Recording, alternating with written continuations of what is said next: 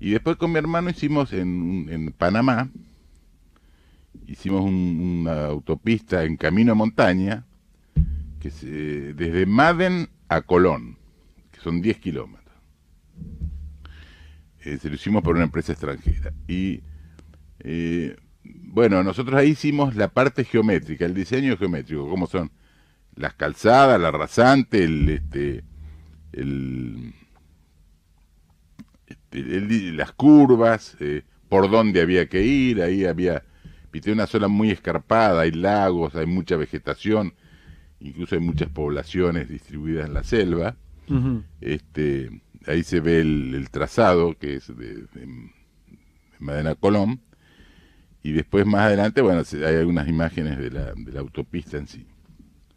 Eso lo hicimos, estuvimos, fuimos a, Panamá, pero en realidad el proyecto lo hicimos acá y lo entregamos, ¿no?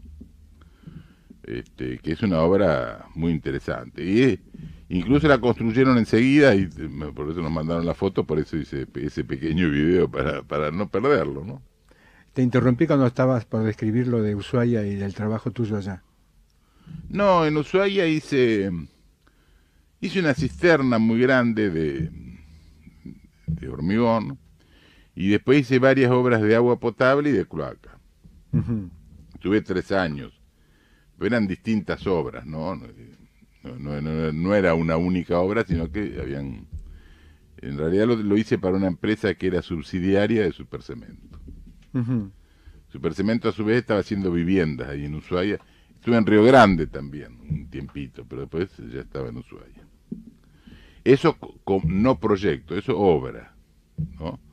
E, y el puente también era en obra, y después la, em, la en cambio la autopista Madrid Colón era proyecto, nosotros hacemos los planos, digamos, ¿no? que la gente a veces confunde eso, qué es plano, qué, qué obra, qué proyecto, bueno. Una claro, hay gente que no está familiarizado ¿no? con el tema